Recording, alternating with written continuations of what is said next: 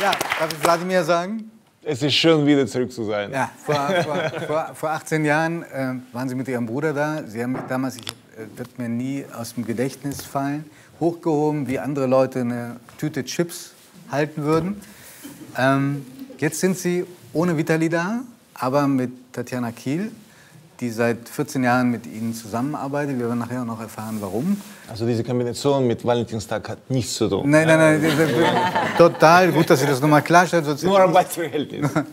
aber, um klarzustellen. aber trotzdem, auch in einer Arbeitsbeziehung kann man einen Menschen sehr gut kennenlernen. Und lieben. Hm? Und auch Tatsächlich. lieben. Schön, dass Sie das sagen. lieben, ne? ähm, als Sie gesehen haben, wie der über seine Mutter gesprochen haben, ja, da haben Sie so den Kopf geschüttelt. Warum? Ne, also natürlich erstmal, weil er so jung da aussieht und so jung ist und ich Bin glaube, ja, das natürlich sowieso im Herzen und so weiter. Ähm, sorry. Ähm, aber also diese, dieses Verhältnis zur Mutter, zum Vater damals auch, die habe ich nur einmal kurz kennengelernt, aber zur Mutter ist wirklich ganz, ganz speziell und ganz wunderbar anzusehen. Immer noch. Immer noch. Und äh, der Papa ist inzwischen, das glaube ich, muss man erzählen, leider verstorben. Ähm, Ihr Papa war abkommandiert sozusagen nach Tschernobyl. Ähm, haben Sie den Verdacht, dass er gestorben ist wegen seines Einsatzes in Tschernobyl? Das ist Fakt. Wir haben kurz darüber gesprochen auch. Ähm, Sie waren in Tschernobyl. Übrigens, es ist gar nicht so gefährlich eigentlich äh, als Tourismus erstmal in die Ukraine zu kommen. Nicht in dem Osten der Ukraine. Ähm, das muss ich auch erwähnen, leider. Und Ja, weil- Tschernobyl weil- zu besuchen. erklären, weil Erstmal, das Land ist total ja. spannend. Die Stadt Kiew ist ähm, unglaublich spannend und voller äh, Leben. Und Äh, wunderschön. ich, muss, ich muss auch sagen, die Geschichte ist auch über 1500 Jahre. Es ist viel zu sehen. Übrigens, ähm, wenn er nach Kiew kommen wollte, ich, ich kenne so einen Bürgermeister da. Wenn, Das, das ist sehr witzig. Wenn man aus dem Flughafen dann. kommt, dann, dann hängt da ein Riesenplakat und der Bürgermeister begrüßt einen auf diesem Sie waren schon Plakat. da? Ja, ja, und äh, hab Tschernobyl besucht. Wir haben eine, eine Reihe Anthropozän im März, wo wir, wie der Mensch die Erde verändert. Und die Ukraine und äh, das Unglück von Tschernobyl, wo Wladimirs Vater ja auch im Einsatz war, das ist eine so dramatische Geschichte. Und das ist noch heute so ergreifend, wenn man die Geisterstädte sieht. Also Pripyat, eine Stadt mit 50.000 Einwohnern, die komplett evakuiert wurde in drei Stunden. Da liegen heute noch die Puppen auf der Straße nach 30 Jahren, die die Kinder auf der Flucht weggeworfen haben. Und dein, dein Vater war ja in dieser Gegend im Einsatz. Es ist grauenvoll, wie dort mit Menschen umgegangen worden ist nach dieser Katastrophe. Und man kann das auch besuchen. Sie waren da, ich war auch da. Und wirklich, da kann jeder hin einiges lernen über Radioaktivität, über Atomkraftwerken. Man versteht es besser, wenn man da drüben ist. Und wenn man wirklich liest die Geschichten, hört die Geschichten, sieht die Geschichten. Äh, Es ist nicht das Gleiche, wenn man selbst da präsent ist. Man versteht, wie eigentlich das gefährlich sein kann, trotz diesem, dass Atomenergie wahrscheinlich eine der saubersten, was wir auf dieser Erde haben, aber auch eine der gefährlichsten, weil wenn es falsch geht und läuft, dann läuft es falsch für die nächsten tausend Jahre. Ähm, noch einmal, Ukraine hat zwar Tschernobyl als auch die Katastrophe, was nie so ganz positiv dazu steht, aber das Land, die Stadt, die Menschen sind wunderschön. Deswegen herzlich willkommen. Wir werden definitiv viel dazu lernen. Ist rübergekommen. So wie ich gerade in der Sendung und ich habe gedacht, wie schwer ist mein Ge Gehirn geworden durch die ganzen Informationen, was Sie geteilt haben. Ich habe es wirklich aufgenommen. Aber Judith, Judith, Ukraine, ihr beiden, oder? Wolltest du Moment, reisen? wir waren zusammen in der Antarktis. Nein, aber sie wollte doch Ich sag reisen. mal, egal wo Wladimir hingeht, ich würde mitkommen. Also, oder? Mich beschützt da. Das, das passt doch. Das passt doch wunderbar. Weil, weil äh, Tatjana hat gerade und Ich liebe sie Wladimir hat das auch. bestätigt. Also heute kann, darf ich das sagen. Hinter meinem Rücken werden hier Liebeserklärungen abgegeben. Ja, du wolltest ja nicht. Ah ja, stimmt, stimmt. Äh, Sofort bestraft. Äh, Wladimir hat gerade gesagt, man kann einen Menschen nicht nur sehr gut kennenlernen, sondern auch lieben lernen, wenn man eine Arbeitsbeziehung hat. Wenn Sie in, sagen sollten, das ist eine herausragende Eigenschaft, das, was Sie an ihm schätzen und lieben gelernt haben, was ist das? Das ist die Fähigkeit, jemanden sofort zu analysieren, aber nicht zu analysieren, um herauszufinden, was gut oder was schlecht ist, sondern sofort zu verstehen, was dieser Mensch extrem gut kann und ihn dafür einzusetzen und dafür zu nutzen, nicht auszunutzen, sondern wirklich dieses ganz Besondere rauszuarbeiten und den dann erblühen zu lassen. Ist das Menschenkenntnis oder das, geht das darüber hinaus? Also es ist ganz viel Menschenkenntnis. Ich glaube schon, diese, diese Stare-Down-Situation, wir machen das manchmal in, in unseren Camps so als Übung, ne, wenn man sich so face-to-face -face gegenübersteht und ja auch irgendwie gefühlt... Sagen Sie noch mal, wie der Ausdruck hieß. Stare, Stare Down. Mhm, äh, kurz vor einem Kampf, bei dem offiziellen Wiegen ist das ja, da ist ja so die Nasenspitze zu Nasenspitze vielleicht so einen Zentimeter mhm. voneinander entfernt. Mhm. Da kann man lernen, einfach zuzumachen. Mhm. Das musste ich auch lernen, das habe ich gesehen und ich lerne und sehe, wenn er aufmacht. Und das ist, ähm, das muss man lernen, das ist reiner Selbstschutz, würde ich vermuten. Und davon aber zu profitieren und das irgendwie auch wirklich einzusetzen, aber nur dann, wenn der Gegenüber es auch zulässt, das ist äh, für mich die größte Stärke, die er hat. Das ist interessant, weil man sieht das kurz vor dem Boxkampf mhm. und denkt immer, das ist Show. Aber gelingt es wirklich, einen Einblick zu bekommen in einen Menschen, wenn, wenn sie ihm so nahe kommen? Nase an Nase, Wladimir. Haben Sie schon mal gehört, dass die Augen sind der Spiegel der Seele? Ja. Oft man sagt das auch an Valentinstag. Ja. Aber im Grunde genommen, man kann das auch im Leben übertragen. Hm. Weil äh, wir haben alle gewissen Stempel im Gesicht und Augen strahlen das auch. Was man beruflich macht oder gemacht hat äh, seit Jahrzehnten, das alles irgendwie an dem Gang, äh, Gesichtsausdrücke, die Sprache, wie man das verwendet, auch die Sprache. Also man, man analysiert und scannt halt Gesamtbild. Ja? Und man kriegt dann natürlich wahnsinnig viel mit. Ich habe das im Sport gelernt, weil im Sport ist es sehr intensiv, wenn du deinen zukünftigen Gegner analysierst und du hast seit Wochen den einstudiert und gesehen hast. Du weißt schon genau und analysierst du die Menschen, die rum um ihn sind. Wer sind die? Was reden die ein? Wie bereitet sie sich vor? Und am Ende des Tages, bei diesem Stare-Down, kurz vor dem Kampf, du ahnst schon, was auf dich zukommen wird. Wer von dir steht als Person, welchen Im, Charakter Im Guten, im Schlechten ahnt man auch, dass man manchmal, dass man in, Niederlage, in einer Niederlage entgegengeht oder kämpft. In dem Moment. Ich habe nicht verstanden, was. Wenn, wenn bei, diesem, bei, dieser Begegnung, ja. engen Begegnung, hat man da manchmal auch schon das Gefühl, das geht schief heute? Ähm, nein, das Gefühl hat man ich habe das Gefühl nie gehabt. Ich habe immer das Gefühl gehabt, dass ich gewinnen werde. Die Statistik, die Statistik spricht ja auch für Sie.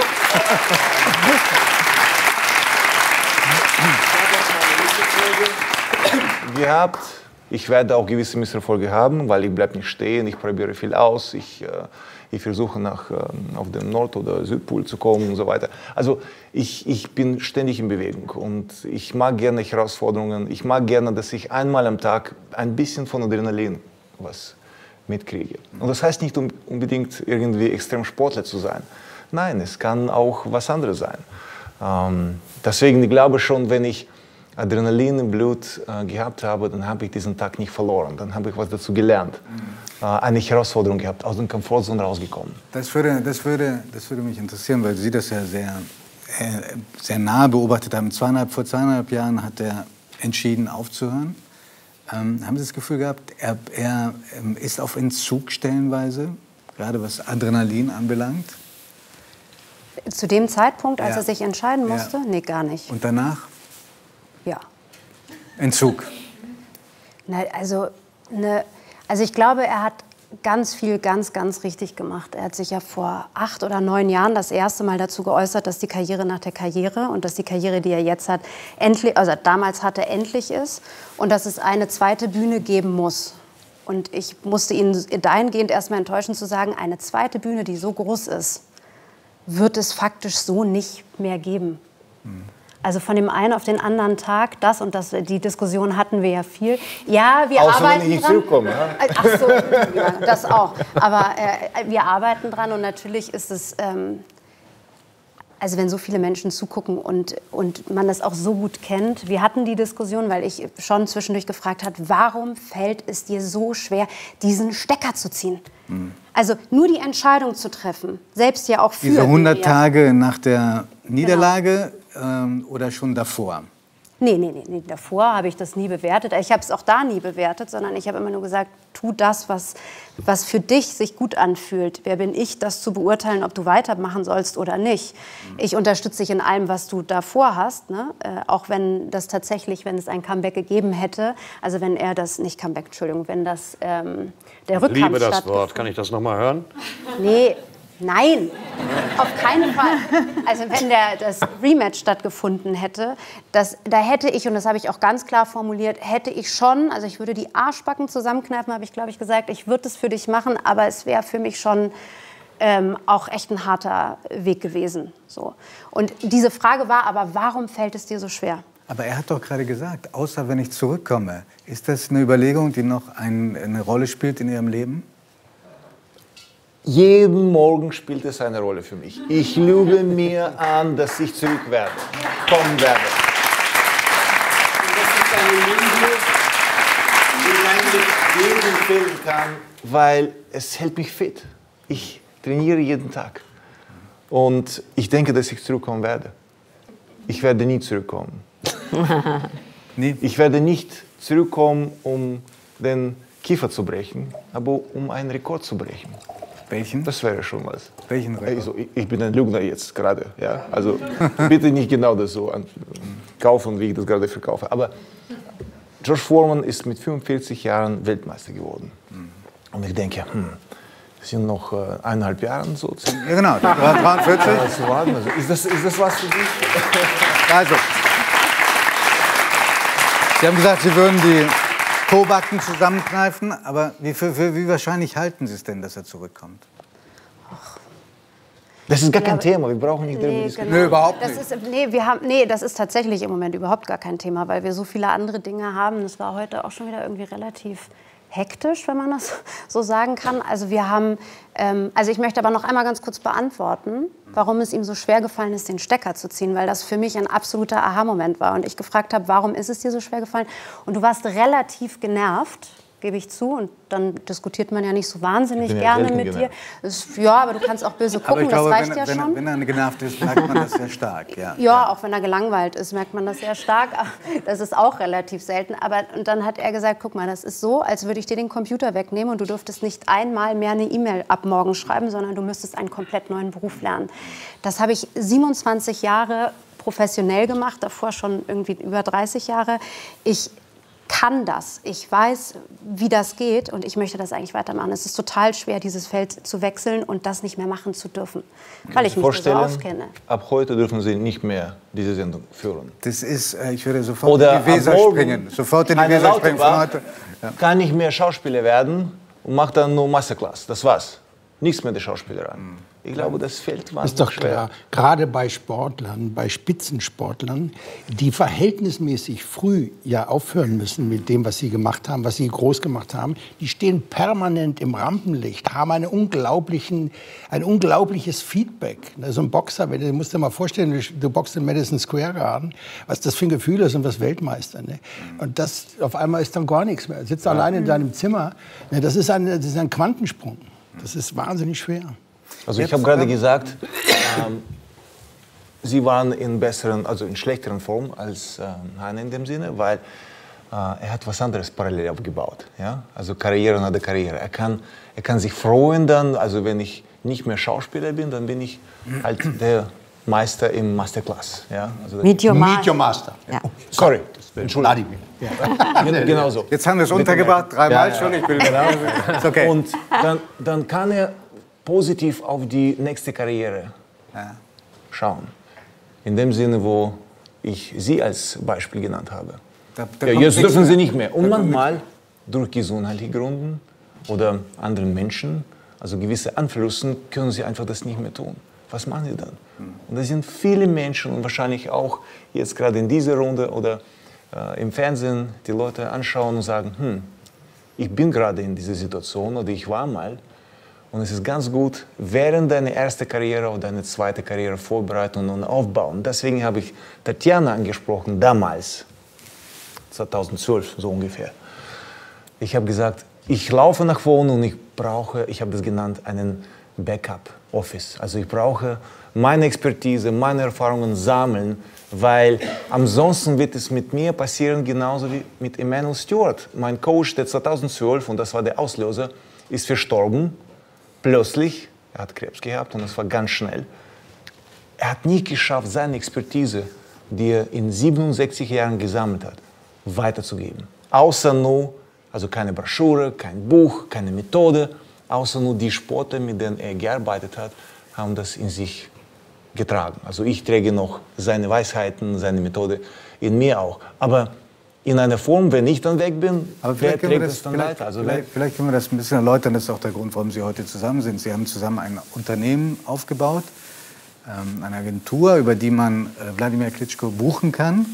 Würden Sie sagen, ist es eine Art Motivationstraining, was er geben kann? Oder ein, ist es ein Vortrag, das Menschen, der Menschen weiterbringen soll? Was machen Sie zusammen? Man kann dich nicht buchen. Man kann mich nie buchen, danke. Das, das, Da- das stimmt. das wollte er nicht. Auch, auch heute, ich habe äh, mich gebucht bei Ihnen. Na, wir haben ge und, gebeten. Und, und nicht umgekehrt, weil, weil nur bei dieser Sendung zu sein und das Wissen noch zu kriegen, ich bin auch gespannt auf den nächsten kommenden äh, Partner in diesem Gespräch, äh, um mehr zu erfahren. Aber es ist wirklich vom Image-Transfer auf Expertisentransfer zu kommen. Das Und das ist Das genau wissen. wichtig für uns gewesen. Also Image-Transfer zum Beispiel, das Moneymaker, mein Gesicht, ähm, mit dem Glas und dem Wasser. Und mit Was dem ich schönen Logo drauf. Oft gemacht habe, also Werbung in dem Sinne. Ja. Umgangssprache und einfach Werbung. Image-Transfer. Kauf das, weil ich sage dir, es ist gut. Expertise-Transfer, ich habe Expertise und deswegen habe ich gesagt, dass Emmanuel Stewart in dem Sinne Rest in Peace nicht geschafft, seine Expertise weiterzugeben. Diesen Transfer hat er leider nie geschafft durch diese Umstände, was wir im Leben oft haben. Ähm, meine Ziel gewesen, diese Erfahrungen sammeln und heutzutage, zutage, ich bin wahnsinnig froh, ich kann nicht sagen, ich bin stolz, aber ich bin wahnsinnig froh, dass ich seit fünf Jahren teile meine Expertise in einem CS-zertifizierten Studiengang an Uni St. Gallen. Und das auch heißt Challenge Management, Change Innovation Management and Self-Management. Also Selbstmanagement, die Sportler, glaube ich, sind die besten Selbstmanager, ähm, beruflich gesehen, was auf dieser Welt gibt. Was uns fehlt, ist nur das Wissen, aber wir wissen schon, wie wir uns selbst managen. Jetzt habe ich in etwa eine Vorstellung, was Sie zusammen machen. Ich würde wahnsinnig gerne noch mal zu dem Anfang zurückkommen, äh, den ich auch besprochen habe mit Victoria, als wir vorhin gesprochen haben. Was war das erste, vielleicht für Sie auch wichtigste Wort, das Sie gelernt haben oder Sie gebraucht haben, als Sie nach Deutschland kamen? Pünktlichkeit. Pünktlichkeit, das, Ja. das ist richtig ein schweres Wort mit Umlaut und so weiter. Äh, ich meine, er das war, das war ein schweres Wort in Umsetzung.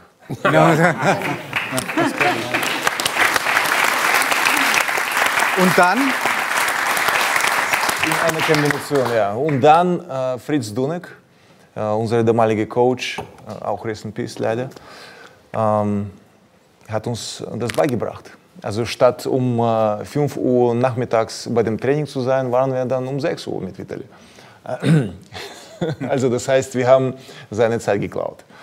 Äh, deswegen hat er uns das beigebracht mit Konsequenzen, dass wir dann Liegestütze gemacht haben, Squats äh, oder mehrere Runden, dann mehr Runden gearbeitet haben als äh, Strafe und Bestrafung. Und äh, wenn du die Konsequenzen kennst, wenn ich zu spät zu dieser Sendung gekommen bin, dann hätte ich nicht hier gesessen. Sie haben So, Konsequenzen sind ganz wichtig zu wissen. Ja. Und wenn die sehr schmerzhaft sind, dann machst du schon ganz klar, dass du äh, punktig bist. Das Punkte, Punkte. Sie haben jetzt eine fünfjährige Tochter. Äh, in welcher Sprache sprechen Sie mit ihr? Äh, es ist gemischt zwischen Russisch und äh, Englisch. Weil sie in Amerika lebt? dominiert. Äh, Russisch dominiert. Äh, sie spricht Ukrainisch. Und äh, sie versteht Deutsch, weil versteht äh, unsere Töchter sind befreundet. Also Tatjanas Tochter fließend in Deutsch und Französisch. Genau. Äh, genau. äh, Und äh, meine Tochter in dem Sinne dann Russisch und Englisch, aber die kommunizieren sich ständig. Die haben keine durch- gemeinsame durch- Sprache, aber, haben aber verstehen, Verstehen sich trotzdem? Irgendwie so eine Mischmasch zwischen allem. Und gibt es ein Wort Ihrer Tochter, das sie Ihnen beigebracht hat? Ja, das, äh, sie war mal in der Kita und dann kam sie nach Hause und sie sagte, ja, irgendwas, äh, lass uns dann irgendwie schaukeln gehen und so, oder zum Schaukeln gehen. Ich so, bitte, was hast du gesagt? Schaukeln.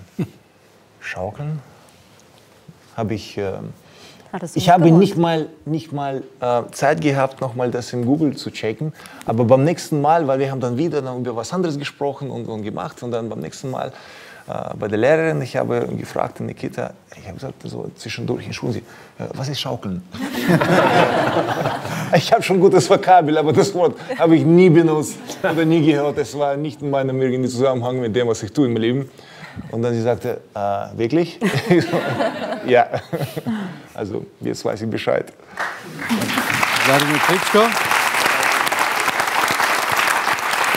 Ich hoffe sehr, dass wir bald wieder ein Gespräch zusammen schaukeln. Ähm, aber lassen Sie uns nicht wieder 18 Jahre warten, weil ich weiß dann nicht, in welchem Zustand Heiner Lauterbach und ich sein werden. Deshalb kommen Sie bitte früher zurück. Ja? Vielen, vielen Dank.